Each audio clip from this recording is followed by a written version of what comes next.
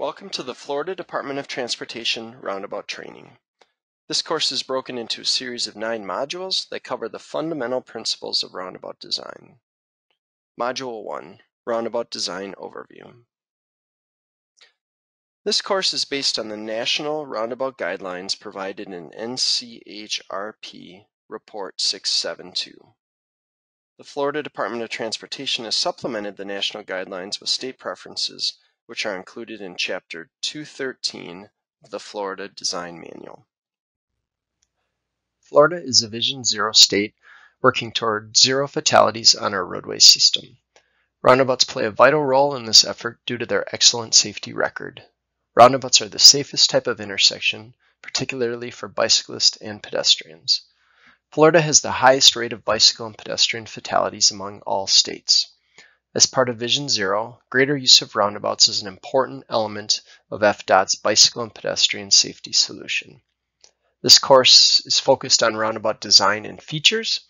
Material in Module 9 is specific to bicycle and pedestrian safety, but keep bicyclists and pedestrians in mind throughout the training. Your design efforts can make Florida's roads safer.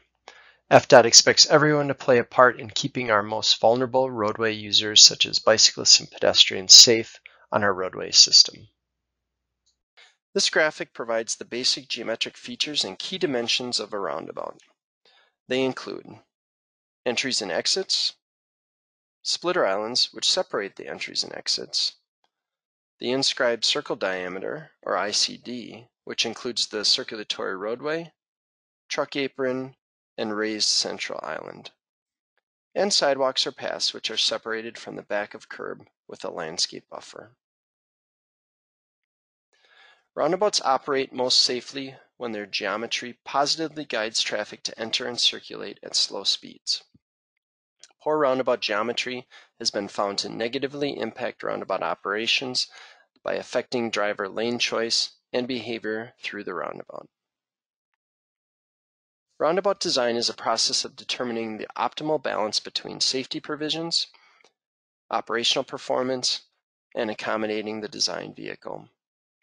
Each roundabout requires distinctive design choices depending on the unique design constraints, traffic volumes, roadway speeds, existing topography, and roadway alignments.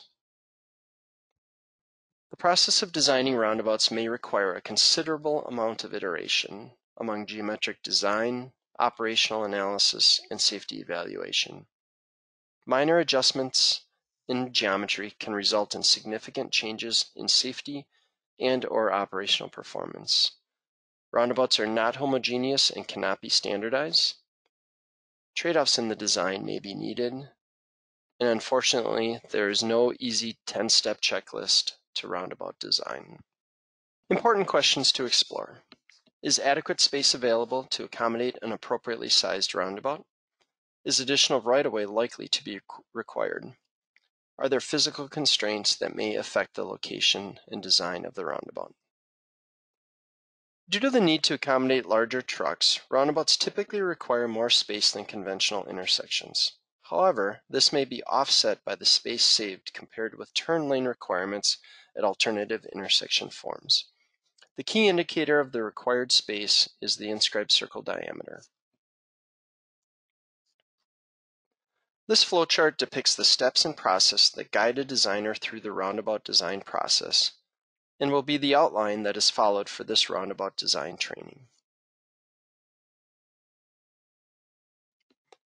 Principles and objectives common to the design of all roundabouts include designed to make the driving task as simple as possible, slow entry speeds and consistent speeds through the roundabout by using deflection, appropriate number of lanes and lane assignment to achieve adequate capacity, lane volume balance, and lane continuity, smooth channelization that is intuitive to drivers and results in vehicles naturally using the intended lanes, adequate accommodations for the design vehicles, meeting the needs of pedestrians and bicyclists, and providing appropriate sight distance and visibility. The geometric design of a roundabout requires balancing the competing design objectives, including safety, which we want to provide as much safety as possible, lowering costs and impacts, and providing as much capacity as we can. Favoring one component of design may negatively affect another.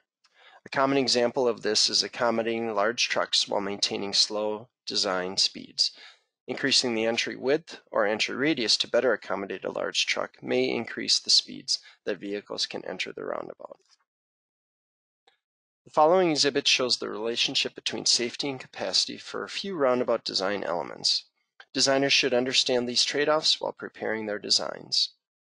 For example, using a larger inscribed circle diameter will provide better capacity, but speeds could, speeds could increase, leading to a less safe design. This concludes Module 1, Roundabout Design Overview.